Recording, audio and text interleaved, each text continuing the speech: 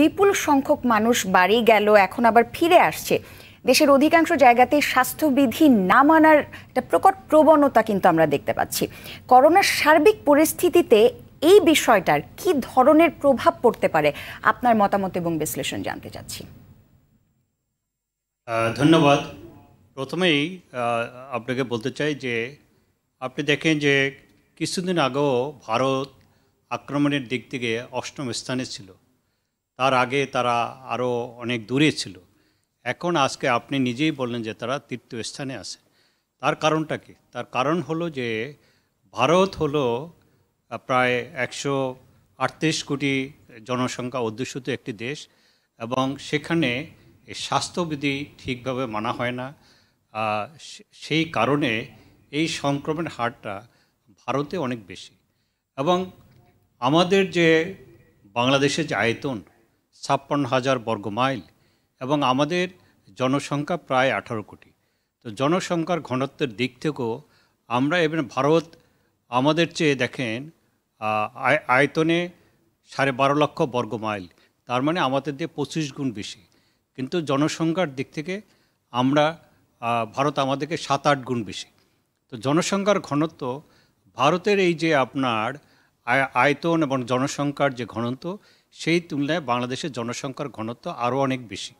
তো এই যে মানুষ আপনার দেশে গেল, দেশে আসলো, আপনারা সকলেই দেখছেন যে বাস টার্মিনাল, রাস্তাঘাট, ফেরিঘাট, সকলে এত গাদাগাদি করে যাইতেছে এবং সেখানে আপনার তারা কোনো স্বাস্থ্যবিধি তারা মানছে না, অনেকে মাস্ক পরছে না এবং আপনি মনে করেন যে তারা যে স্বাভাবিক আমরা হাত ধোয়ার জন্য সাবান দিয়ে তারপর স্যানিটাইজার দিয়ে স্যাবলন দিয়ে, যেই জিনিসটা তারা বলে, সেই জিনিসটা তো তারা করছে না।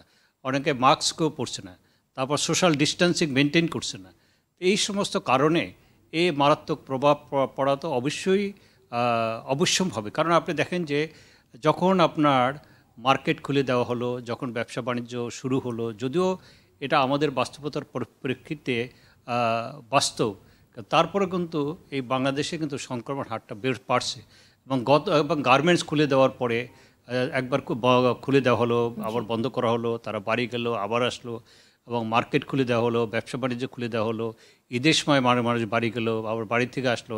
এখন কোরবানি, কোরবানির সময়ে একটা পশু কোরবানি আর একটা হলো যে আপনার মানুষজন যে বাড়ি গেছে, যে কথাটা আপনাকে বললাম যে ফেরিঘাট বলেন, লাস্ট টার্মিনাল বলেন সমস্ত জায়গায় দেখল মানুষের গাদাগাদি, এবং সেখানে মানুষ স্বাস্থ্যবিধি মানছে না। ন্যাচারালি সংক্রমণ হার বেশি আশা করাটাই বাঞ্ছনীয়। ধন্যবাদ, স্যার।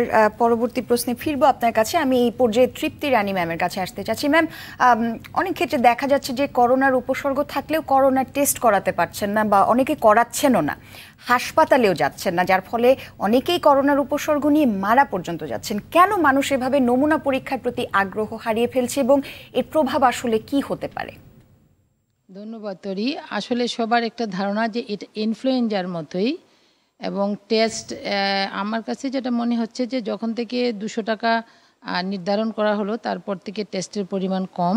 তবে এখনও আমাদের মানুষের মধ্যে ওই সচেতনতাটুকু নেই যে আমি আক্রান্ত হলে আমার দ্বারা আমার পরিবার, পরিজন এবং আত্মীয় স্বজন আক্রান্ত হতে পারেন। সুতরাং আমার মনে হয় আমরা তো সবসময়ই বলে যাচ্ছি টেস্ট না করলেও যদি করোনার উপসর্গ দেখা দেয়, তাহলেও কিন্তু উনি সকল স্বাস্থ্যবিধি মেনে চলবেন।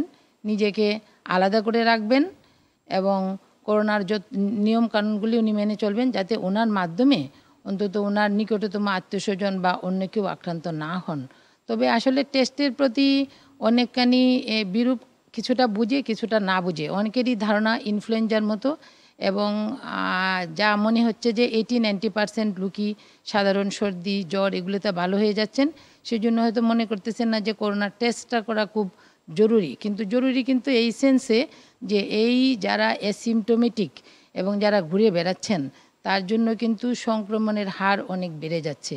আমরা বলতেছি এখন যে যদি এই মুহূর্তে আমরা করোনার লেস টেনে ধরতে না পারি তাহলে কিন্তু এটা দীর্ঘদিন আমাদের দীর্ঘদিন আমাদেরকে এটা ভুগতে হবে। দীর্ঘদিন আমাদেরকে ভুগতে হবে এটা নিয়ে।